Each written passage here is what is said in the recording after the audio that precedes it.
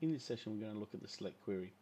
We're also going to be investigating the distinct query, distinct row query, and having a look at the difference between those. So first of all, we're actually going to open up an existing query. So I'm going to double click this. When you double click a query that's already pre-existing, it runs it in its runtime mode. We can actually go up to the view, and if we click on this view here, this is the query by example where the field names are listed, but we're more concerned at the moment with the SQL.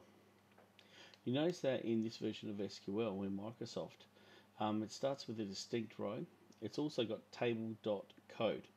What that means is this name here, um, table stock, so it's got table stock dot code, and what it's referencing is this table, this field. So if we had a database with multiple tables, we can reference the different fields in different tables by actually pointing at them.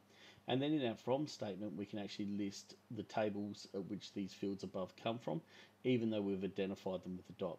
So let's run this SQL at the moment. You'll see that it gives us all the codes and all the pack sizes.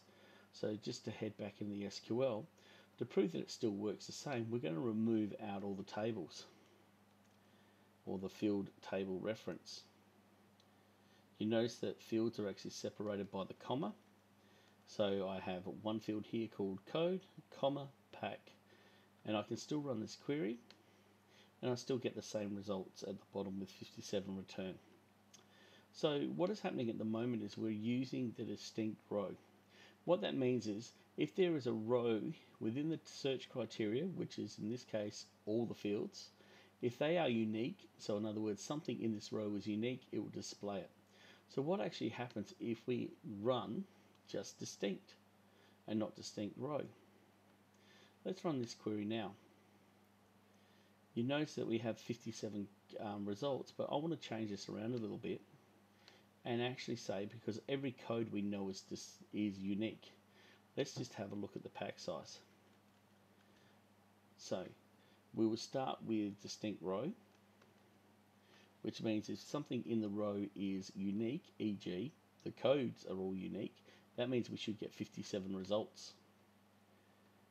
And that's what we get.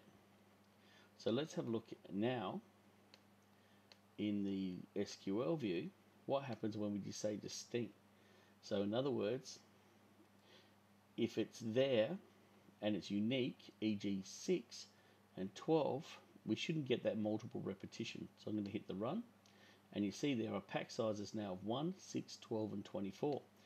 We look at the raw table behind, you can see there is a 6, you can see there's 12s, there's a 24, lots of 12 and because we've just used distinct it's done a bit of a grouping for us. So every time there is a unique occurrence e.g. a number like 12 it appears.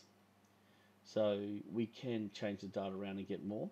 But what we need to have a look at next is well what happens if we remove distinct and just have select pack so in this case here we're saying just select the packs and show me what they are so when I run it now we can actually see all the pack sizes and you see they're in order of what this table is if we want to see something else in the table e.g. like wholesale price which is WSP is the field name, we can actually add that to our select list, go comma, WSP, and when we run the query now, we not only see the pack size, but we also see the wholesale price.